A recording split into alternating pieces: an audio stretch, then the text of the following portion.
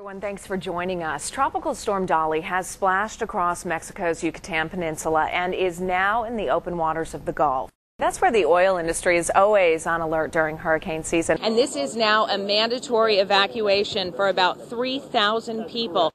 You have to get out. If you are in that area, you have to get out. State police and local police are going door to door. We're seeing more and more cars drive by. You just saw one, people coming out and sightseeing.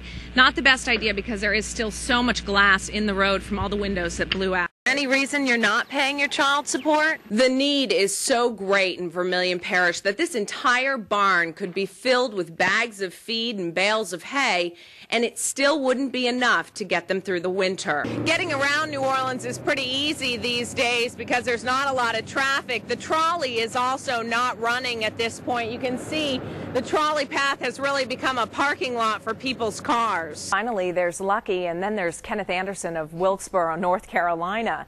Kenneth was eating in his favorite cafe last week, as he does most days, when an out of control SUV going 55 miles an hour slammed into his booth. The collision sent him across the room, but cool Kenneth simply grabs his hat and belongings and gets up with only minor injuries. He's part cat, I do believe. I know, I think he has two lives at least. at least. See you at 6, everybody.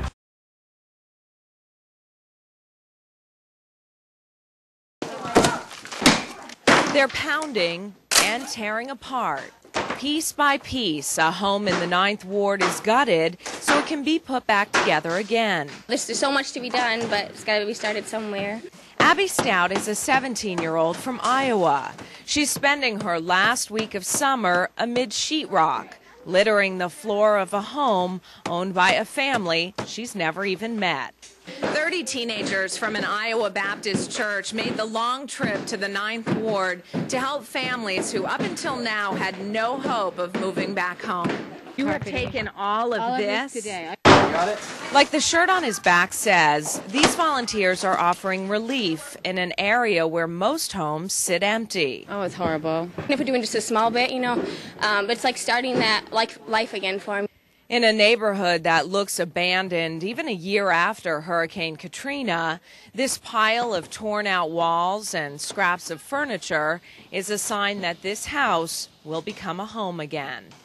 In New Orleans, Julie Kelley, KATC TV3, Acadiana's news channel. KATC's Megan Shearing is live in Intracoastal City. That's where the oil industry is always on alert during hurricane season. And what's happening there, Megan? Parish by parish headlines begin with a home destroyed by fire. It happened on Lindsay Circle in Carencro.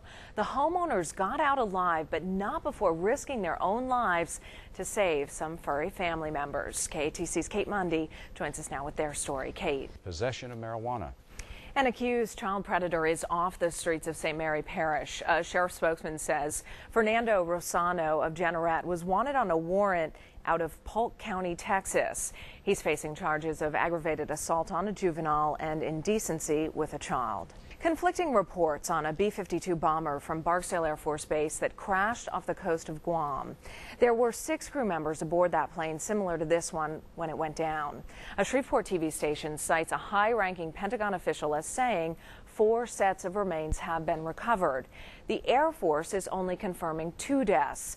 The identities of the people on board have not been released. The first U.S. military war crimes trial since World War II is getting underway at the U.S. Naval Base at Guantanamo Bay, Cuba. A jury of military officers is being selected for the trial of Salim Hamdan. He's the accused driver and bodyguard of Osama bin Laden. The Congress and the President of the United States show the world Military prosecutors hope the trial will prove that such tribunals can work. But even the former top prosecutor at Gitmo has doubts. As long as you have waterboarded, the system is going to be suspect. 19 other terror suspects are also set for trial, including confessed 9 11 mastermind Khalid Sheikh Mohammed. In Iraq today.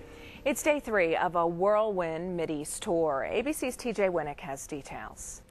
Obama's Republican rival John McCain made the rounds of the morning talk shows today. He says Obama's trip to Iraq vindicates his long support of the surge. He was wrong. And still to come on KATC, oil prices have backed off from record levels, but how low must they go for how long before we start seeing some relief at the pump? We're going to break down the numbers at 521. I remember the day I came to work and the state police called us and they said, please put out the word that we need people to come with flat bottom boats to the mall tomorrow morning. And the next day, you know, hundreds of people showed up and you could see boats lined up at the mall as far as your eye could see. People in Acadiana were going to step up and they weren't going to wait for someone else to come rescue us out of this terrible situation.